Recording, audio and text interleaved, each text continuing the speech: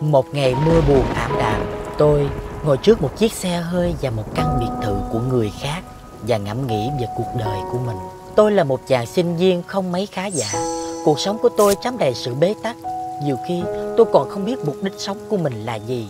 Thậm chí, một tờ năm ngàn cũng làm cho tôi trở nên trăn trở và bế tắc hơn. Làm gì để hợp lý và ý nghĩa với nó đây?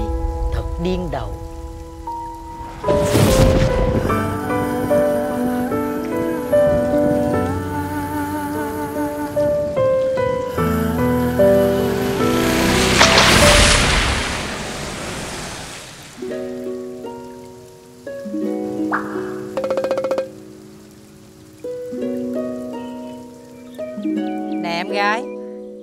Xài thử bịch khăn giấy giá 5 ngàn này đi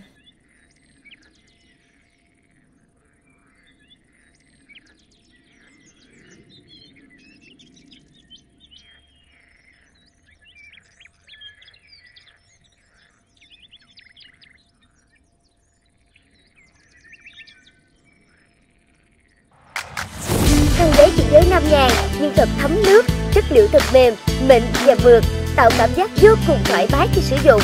Còn chần chờ gì nữa, hãy mua ngay khăn giấy đi nào.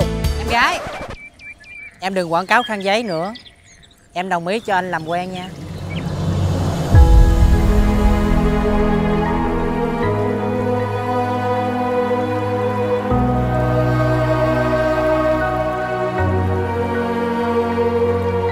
Và thế là tôi đã tìm được cho mình một mục đích cho những tờ 5 ngàn tiếp theo.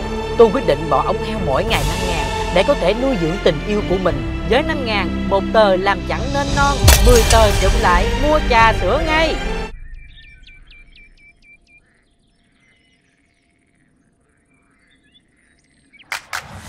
Trà sữa thật thơm ngon, với cuộc sống hàng ngày đầy bế tắc.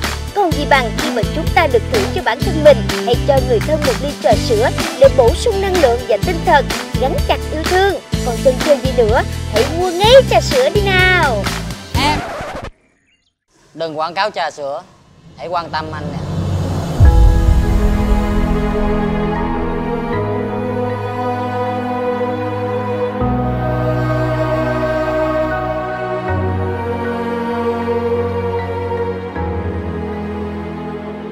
Thừa thắng xong lên, tôi tiếp tục đầu tư cho tình yêu của mình bằng những tờ 5 ngàn đó. Cũng là 5 ngàn, một tờ làm chẳng nên non Nhưng trăm tờ chụm lại, mua liền gấu bông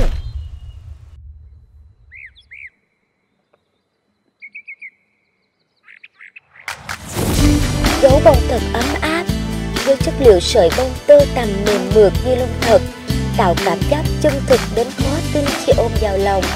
Còn chần chờ gì nữa, hãy sắm cho mình một con gấu bông đi nào. Em Đừng quảng cáo con gấu Hãy quan tâm anh nè.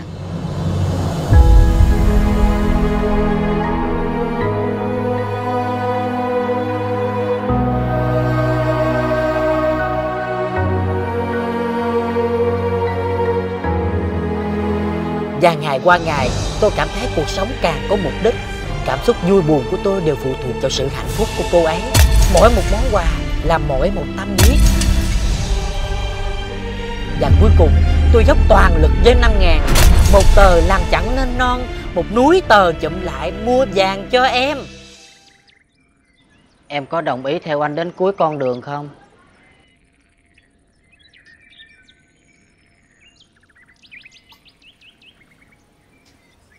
Không anh. Em đã tìm được cho mình bờ vai vững chắc rồi. Kim cương của anh ấy to hơn nhiều Những kim cương cao cấp được kiểm định quốc tế, đạt tiêu chuẩn kim cương thế giới, mang đến vẻ đẹp đẳng cấp riêng, đầy sang trọng. Nào, Em! Đây không phải quảng cáo những kim cương. Anh mới quan trọng hơn nè. Ờ quên. Em thấy như vậy mới có ý nghĩa. Chứ mấy tờ 5 ngàn của anh Em thấy vô nghĩa quá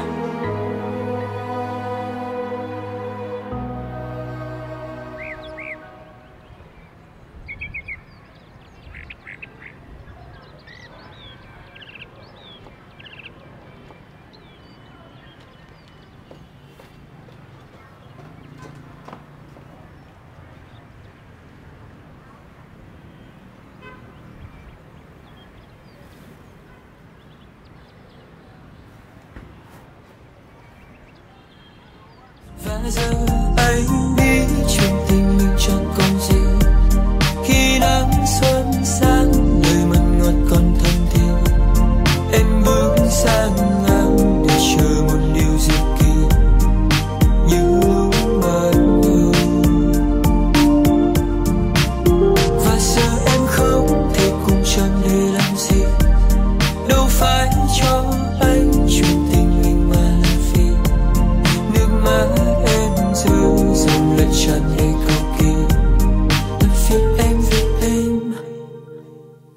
Và đó chính là câu chuyện tình yêu thanh xuân của tôi Kết thúc trong nước mắt Qua câu chuyện quá khứ mà anh vừa kể thì tôi thấy là anh có nhấn mạnh là khăn giấy, trà sữa, gấu bông rồi cả những kim cương nữa.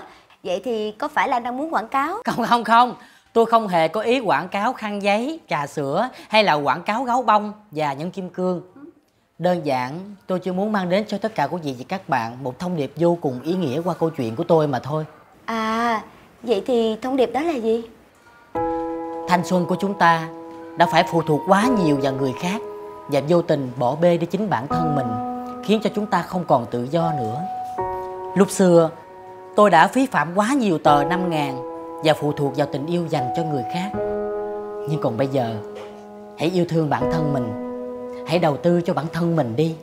Với 5 ngàn đó, chúng ta có thể soạn. MI 5D gửi 191 Chỉ 5 ngàn có nghe 500B sử dụng đến 24 giờ trong ngày đăng ký. Ồ, vậy gói cước đó tên là gì?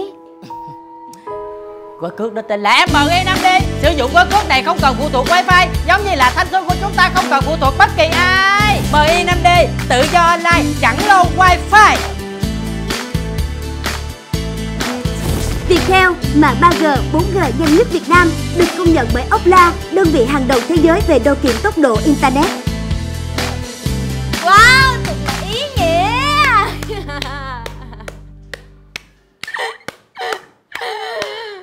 Ha ha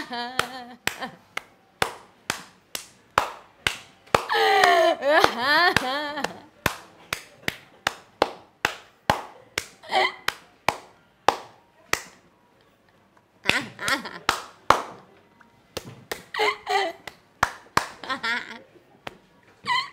À. anh lấy nghe.